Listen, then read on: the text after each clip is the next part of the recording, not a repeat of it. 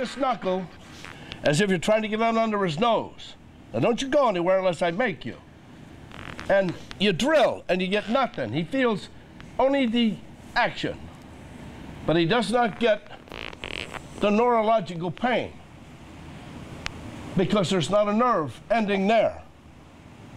But that's the ending of the large intestine meridian where the energy flows. When you touch his arm on large intestine, ah, the fight is over immediately. You're going to do that. You're going to do that with each other, not so aggressively. You're going to have the person grab you. When they grab you, you can do this, you can do this. Large intestinal meridian crosses and ends on each side of your nose. This is excellent to teach women in a rape situation because if they're knocked down on their back, the man has to have one arm on the ground.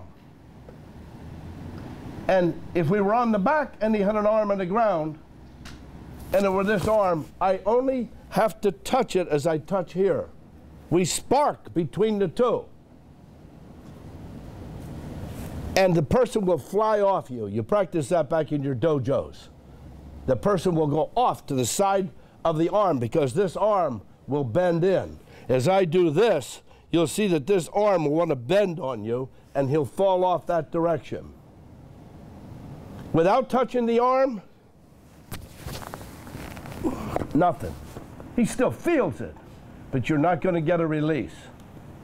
And he probably didn't expect the shock he was going to get hmm. because that's the shock that takes place. He thought, I can take that. Your opponent will too.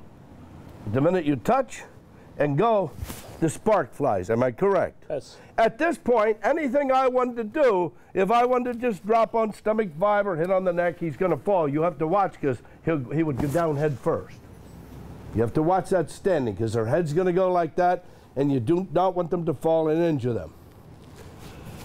All you're going to do is have the person grab you, touch him at the nose. Nothing. Touch here, and you got control of the situation. You got control of the situation. If you hit, if you hit the arm and go here, this move is in kata. It will put the person out, but the whole arm will cramp up on you because you have struck a pressure point and you've struck a pressure point. Two pressure points, the pain meets in the middle. When you do one pressure point, the pain is localized. When you do two pressure points, it meets in the middle. The first time I had it done on me was by Hohan Soken in 1972. He rubbed me here and punched me in lung one, and when I went down, I was afraid to look at my own arm. I actually thought it was broke. I told one of my students, he broke my arm. What do you mean? They said, where did he break it? I said, the elbow. The elbow's got to be. I was afraid to even look. It felt like he went and took it in half. The pain will meet in the middle twice the amount of pain. So when you do one pressure point here, you do one pressure point here, the pain's really coming this way, trying to meet each other. Everybody get up and do that real quick.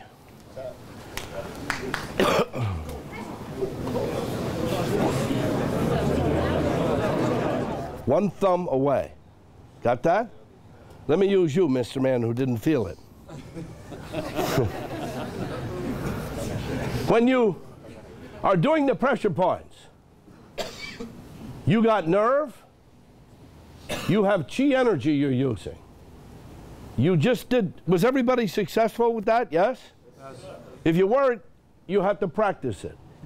That's one that works on everybody. You're messing with their chi energy, is all you're messing.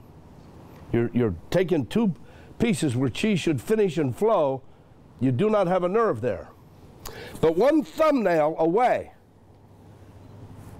is a nerve. And now let's say he grabs me. I don't want him to grab the microphone. You got to do that in a fight. Excuse me, I have a microphone. but he grabs you and he muscles you. Maybe you're only a one-arm man. So I'll put this arm here. For some reason you can't touch. You now don't go there. You go one thumb away to the face. Got that? You go one one thumb away and you're on pure nerve. And you can do what you want to him from there. Keep in mind, I still would use the other hand. I'm just showing you how simple it is. This, you don't need to touch the arm. But with the chi, you need to touch the arm. And it's just one thumb away, one thumb away, and you control the person. If you get somebody down in ground grappling, that's all you have to do is rest this thumb right here and bring it into that hole as you grab their face. And you'll be right on the nerve. What I want you to do, don't want you to hurt each other, but I want you get up. One side's going to grab the other. You can keep your arms in front of you. You don't have to put in your belt. Stand up here. Come one thumbnail away. Go in and cut that direction because that's where the Y is in the nerve. There's a little tiny Y to the seventh facial nerve.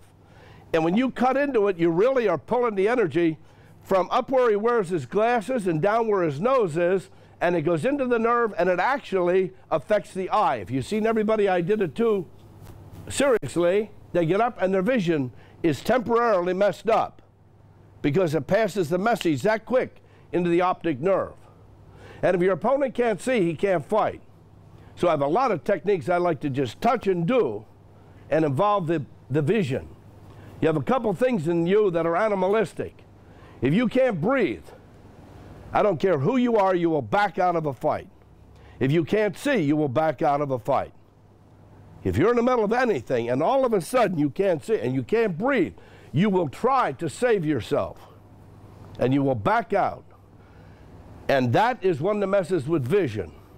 I also have some just as quick. Do you touch your messes breathing up? He can't breathe. He can't breathe in. He can't breathe out. The fight's over. Takes one second to do it. That's why Kyusho Jitsu, one second fighting. So now what you're going to do, they grab you. It could be one hand or two hands, it doesn't matter. And if they muscle you in, that's better yet. You go one thumb away and you aim that direction. Right there. And the head will turn. Everybody try it.